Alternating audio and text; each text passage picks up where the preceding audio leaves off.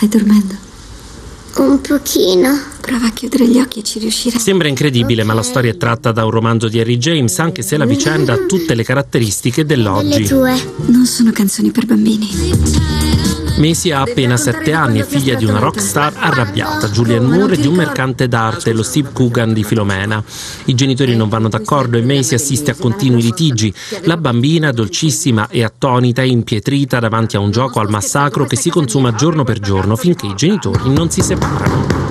Sei fuori di testa! Per un complicato sistema di ripicche, il papà inizia una storia con una giovane babysitter e la mamma con un altrettanto giovane barista e mentre i veri genitori si disinteressano sempre più di Macy, i nuovi partner paradossalmente si affezionano alla bambina e riescono a fare breccia nel suo cuore, dandole l'unica cosa che chiede, attenzione e amore. Stalker, cosa ti prenderai la prossima volta? Non ve la meritate. Quel che sapeva Macy si muove sulla scia di film come Kramer contro Kramer, ma non si limita a raccontare un divorzio, è qualcosa di più.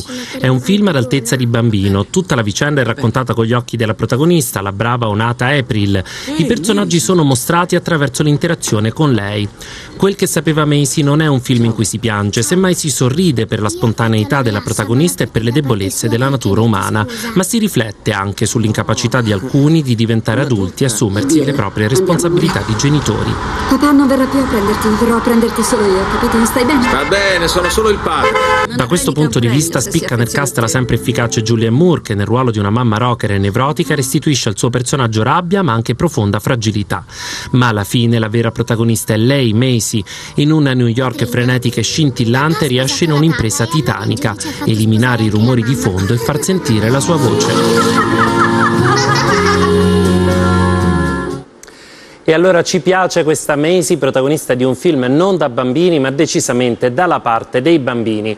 Adesso parliamo di un grande attore, Robert De Niro, protagonista di film indimenticabili come Taxi Driver, 900, Il Padrino. Il suo nuovo film, in cui recita insieme a Diane Keaton e Susan Sarandon, si intitola The Big Wedding e racconta appunto i preparativi per un grande matrimonio, preparativi fatti di gioia, concitazione, ma anche di qualche imprevisto. Fingeremo per un paio di giorni, che problema c'è? E siete così sicuri che lei ci cascherà? C'era una volta Robert De Niro, l'attore più ricercato di Hollywood che abbiamo conosciuto in film di rango come Il Padrino e Toro Scatenato, ma che da qualche anno ha scelto un terreno completamente diverso.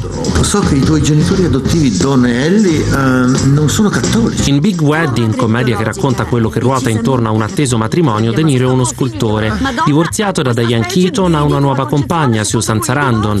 De Niro e la Keaton hanno tre figli che la Sarandon ha tirato su. Il più piccolo, adottivo, sta per sposarsi con la bella Amanda Seyfried. Peccato che per sua madre, che viene da un paese dell'America Latina, all'apparenza molto tradizionale, la situazione della famiglia che ha tirato su il ragazzo sia davvero difficile da digerire.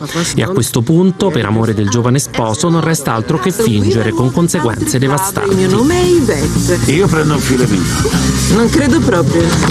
Ogni matrimonio è accompagnato da tensione e stress. Ognuno vuole pianificare tutto perfettamente, fare tutto bene e rendere tutti contenti. Ma in questo film è particolarmente vero. Come, signore?